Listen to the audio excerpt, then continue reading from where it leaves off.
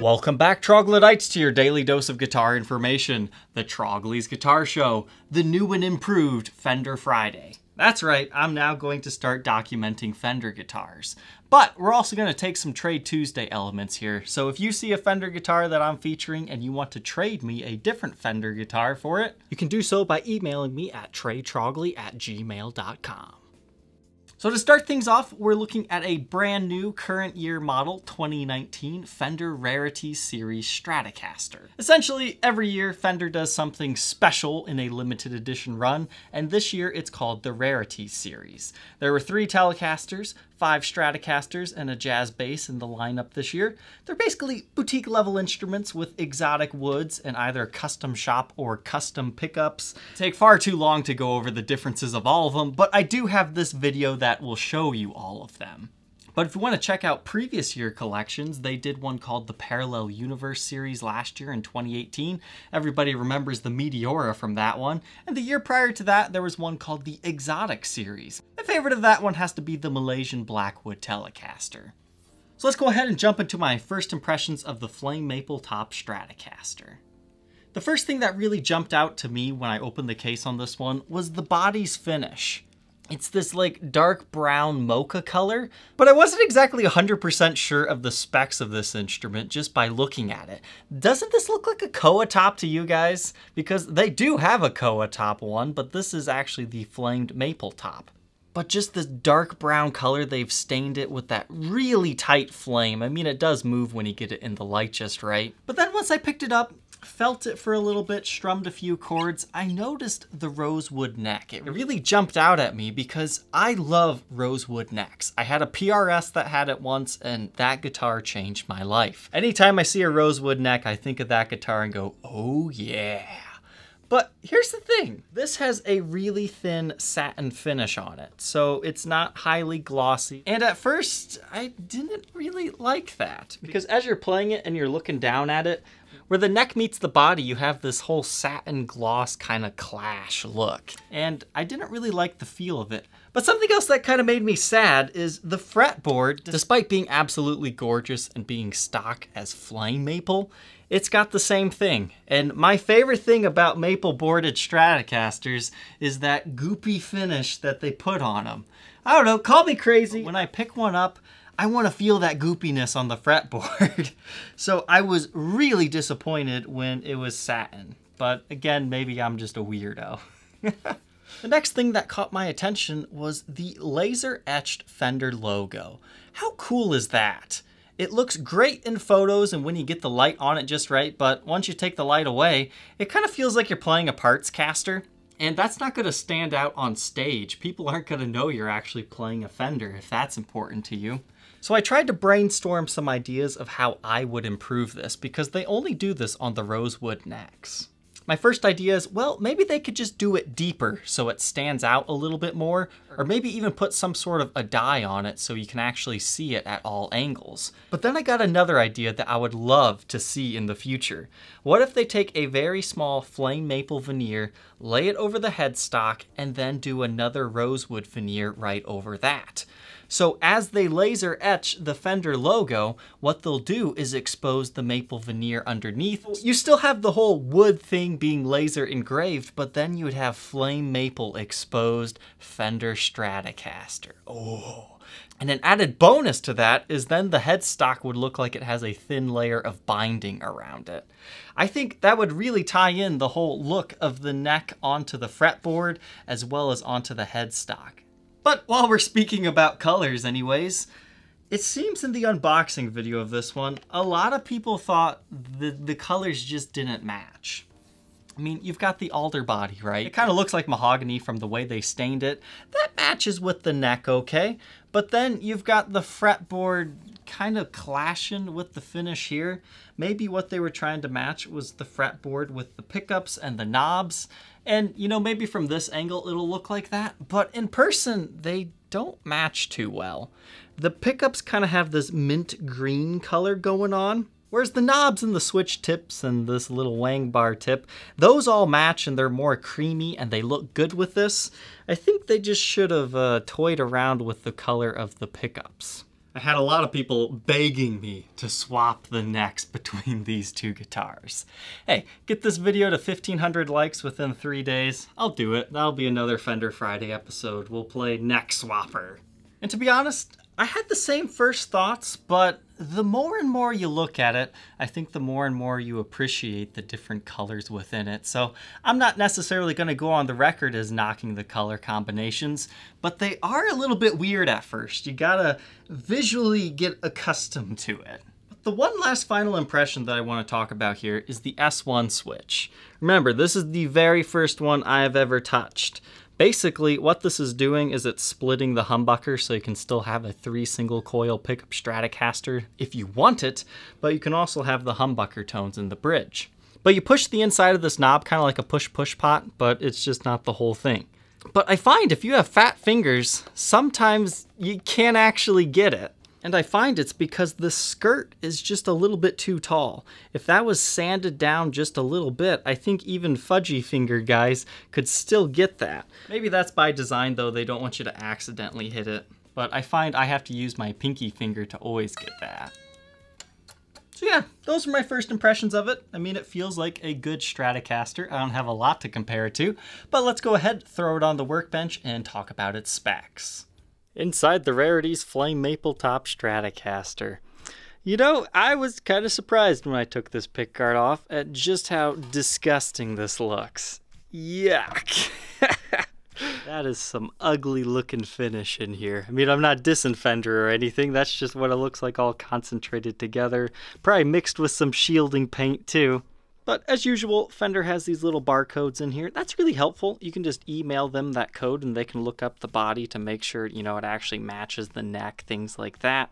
In this case, they call it an American Body Pro Strat ALD FMT for flame maple top. Gold burst urethane paint. I'm not sure what these other ones are for, but they're usually loose when you open up the cavity. So I think in the future those will just disappear. But it looks like they've grounded things off right there. Pretty basic in here. But now let's look at the pickups. The neck and middle are Fender's Pure Vintage 65 style. And then this is what they call the double tap humbucker. But what's kind of interesting, do you see this factory error here? I did not put that screw there. This must have picked somebody's workbench part up. I'll just go ahead and take that out. I'm not an electronics wizard, but essentially what they've done here is they've wired this pickup up in a way that has multiple leads coming out. So when the S1 switch right here is not on, this is just acting like a normal humbucker. But when you press it, instead of just, you know, splitting the coil in half, what they've actually done is they have like extra windings somewhere that aren't normally in it. Like for example, these are balanced when they're together, but when it's split in half, this is actually hotter than it would normally be. So it's like a really hot bridge pickup is essentially what they're doing. And in order to activate that, you just simply press down on that. It's just a little switch. Neck pickup is 5.92, middle neck 3, just the middle 6.09, humbucker and the middle you're at 3.48 just the humbucker, you're at 7.85, but then once you do that S1 switch, here's how you see it's not exactly half of that. So we've got 4.31, so normally that'd be 8.6. That tells you about 1 k ohms hotter than just splitting it in half. And just for fun with that and single and this, you get 2.55 as compared to about 3.5. I would have never guessed that's what the S1 switch looked like underneath though. That thing's massive. Other than that, though, you just have two regular pots. I'm not really sure what this circuit board's doing here. I haven't seen that before. And just your regular five-way switch. But the pickguard itself is kind of cool. It's got that tortoise shell on the top, but then you have a white, black, and white layer. So it's a four-ply pickguard. That's actually kind of cool. The additional white layers kind of match the pickups as well as the fretboard. Something else you'll notice is if you wanted to put a humbucker in the neck position, you could. It's pre-routed for that. And for the tremolo unit, they're using the two-point synchronized tremolo with the push-in arm. This is the first push-in arm I've had. It works great once you get it in, but then it's not like you can't adjust the tightness or anything as far as I'm aware. And to get it out, it's kind of tough. You got to use two hands. It's possible I'm doing it wrong, but once you plug it in, it just stays put because it kind of rests right in there. So despite this one looking like Koa, it is a flamed maple top, nice and tight. But I think what you're really curious is, is just how thick is this top? To be perfectly honest with you, it's a lot thinner than I thought it was going to be. I thought for sure that this was going to follow like the contour of the body and like start right there. That way it'd be easier for them. But this is what I would just call like a flamed maple cap. It's not quite as thin as a veneer, but it's not necessarily like a huge top by any means. But it does kind of give it a cool little binding effect along here. I'd say it's about two tenths of an inch thick, something like that. Moving on to the neck here, spec-wise, again, you've got the flamed maple fretboard, which looks absolutely beautiful. But notice, also black pearl inlays. This is not something I was expecting. I didn't even notice that they were anything different until I got the strings off and really started looking at them. That's a cool little spec. But the frets on these guys are the narrow, tall ones. I seem to like them from what little I've played this guitar so far. They're also saying this has a compound radius, which means it's more rounded feeling right here, so you can play chords nice and easily. They're saying around nine and a half. Then it gradually gets flatter as you go up here to make bending and solos easier to a 14 inch radius. And here's where you can see that the fretboard slopes off and is ended. And then this is the skunk stripe. It's made of walnut. It's this cool blend of dark brown, light brown, and this mapley creaminess. With some truss rod adjustment action right here. And then, as we were saying before, the laser etched Fender Stratocaster logo utilizes this style of string tree. They call this neck profile the Modern C. So we get a nut width of 1.67 inches. Then up at the 12th fret, it's just a little over 2 with a first fret neck depth of 0.84, and that then increases to about 0.93 at the 12th. So not a huge neck by any means. And it utilizes the typical 25.5 inch scale length for fenders. Moving on to the back here, this is a two-piece alder body, but man, they hit that seam line really good. If you get in here with the light, you can see it right there. But as you follow it up right here, I mean, that's a really good match, but you can just barely see it once again at the end here. The dark finish definitely helps hide it, but underneath the back plate cover, this is what the tremolo unit looks like. Looks like we have black springs. And similar to the pickguard, it's 4-ply. The strap buttons are the large fender style one, located in your usual locations. And your serial number for this one is on the back plate, LE for limited edition 07128. Looks like you've got your micro tilt right there, and then moving on to our rosewood neck. Solid rosewood with a skunk stripe of walnut. Such a beautiful sight. I love it. I wish Gibson would do a limited edition Les Paul like this. And we've got our Fender tuners. All put back together, it weighs about 8.5 pounds, 8 pounds, 8.2 ounces. But let's go ahead, plug it in, and talk through the tones. Neck pickup sounds like this.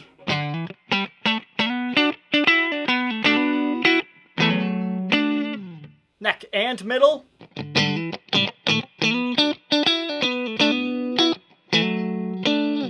Just the middle now.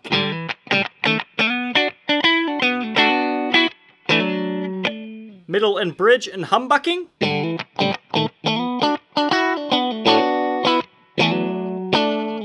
Now the bridge and humbucker.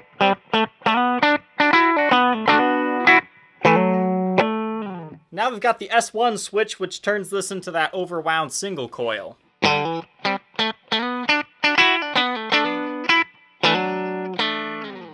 our last tonality is middle with the single coil bridge pickup.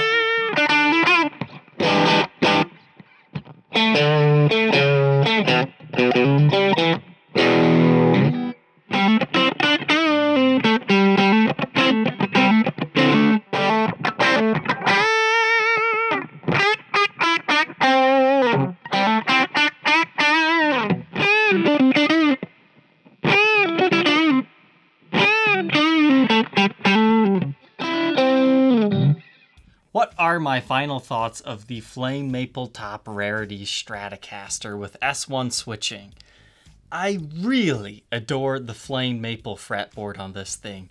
That is one of my favorite features that I could ever have on a Fender guitar, and this one has it. But I hate to say it, even after playing it for a significant amount of time, I'm not digging the finish they're putting on this.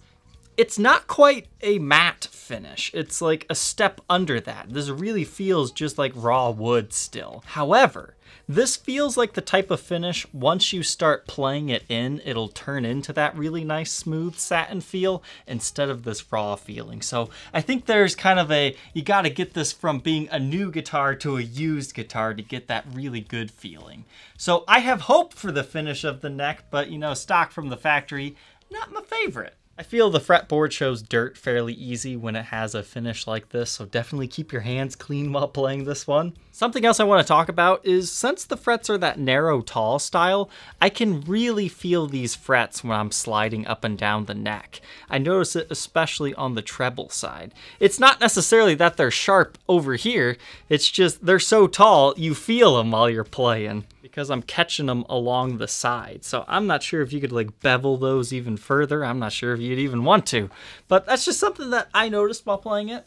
And I notice a lot of pinging action going on at the nut, so I think a little bit of lubrication there would do wonders on this one. See if I can get that on camera here. I'm using the trem bar right now.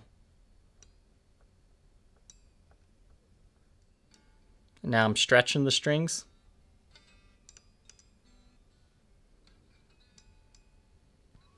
At first I thought it was the string tree, but no, it's the nut. So I think a little bit of lubrication there would also make this a better guitar. So that just kind of falls into minor setup work that you need to do for a new guitar. But the tones of this thing, well, it sounds a lot better than the Glary, right? the 65 pickups, that neck pickup, mm. I love a Strat neck pickup. It sounds so ballsy and aggressive. It's just such a fantastic tone. And with the S1 switching, if you don't like having the humbucker in the bridge, you can just pretend it's not there. I almost thought it was a little bit too in-your-face humbucker-like when it was full on. So I kind of enjoyed being able to turn that off. So it's a good guitar, but is it my favorite one of the Rarity series? No, and I think it really comes down to I don't like the finish on this one. It's a little bit too dark you can't really see the flame maple top unless, you know, you're trying to take a picture of it, you got the light just directly over top of it like this, and that's when you can see the beautiful flame and all that. And the mix matched finish between the body and the neck, I don't know, there's just some visual cues on this one that just doesn't really sell it for me. But as a guitar, it was great. There's just some personal preference things here. So if you're interested in being the next owner of this Flame Maple Top Stratocaster, remember, you can trade me your Fender guitars at tradetrogly at gmail.com. This is the first one up on the trading block here. I'm interested in other Rarity series guitars. I'd be interested in a Meteora, a Jag Stang. I'm looking for the oddball Fenders, limited edition, something special than just your regular run-of-the-mill Strat. But I'll go ahead and go over the condition here. I mean, this thing is very close to new. I mean, I would say it's like similar to what you'd find on a floor model. I do want to make a mention that I scuffed the top of the ball end of the headstock. You can just see it right there. I hit it up against my ceiling. Oops. It's not like a big dent or anything, just a small scuff line. But other than that, I noticed some like very light impressions along the edges. They're kind of hard to see, but that just kind of comes with being part of this very thin finish.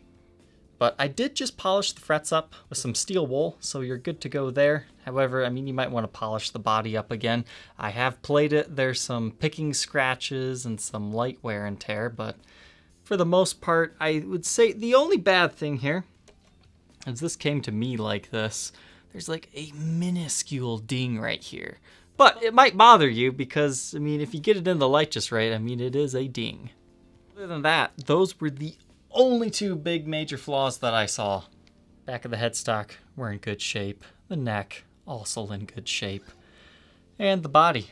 I did not wear a belt buckle, so there shouldn't be any belt buckle rash. Let's go ahead and uh, throw it under blacklight just for fun here. Kind of boring, not much going on here with a polyurethane finish here.